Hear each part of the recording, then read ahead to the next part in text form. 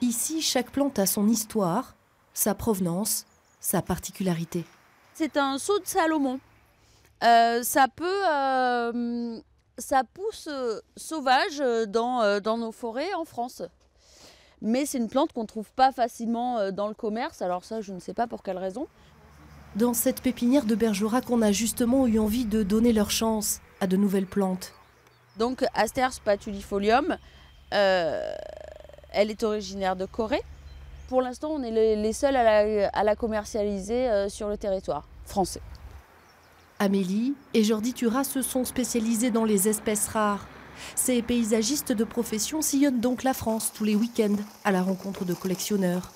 Un bouche à oreille qui fonctionne et un succès national en témoigne leur site internet où les amateurs de botanique font leur marché.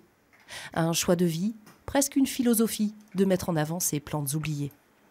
La nature est infiniment riche et alors il faut en profiter.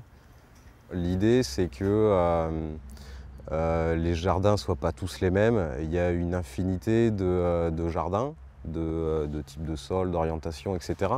Et le but est à ce moment-là que, que le jardin ne soit pas le même que celui du voisin. Et cette grande diversité nous permet, nous permet cela. À l'occasion de voyages ou de rencontres, le couple ramène donc dans sa besace quelques plants qu'il cultive par la suite. Seul regret cependant que les bergeracois ne poussent pas plus facilement la porte de leur pépinière afin de découvrir leurs demi-plantes vivaces.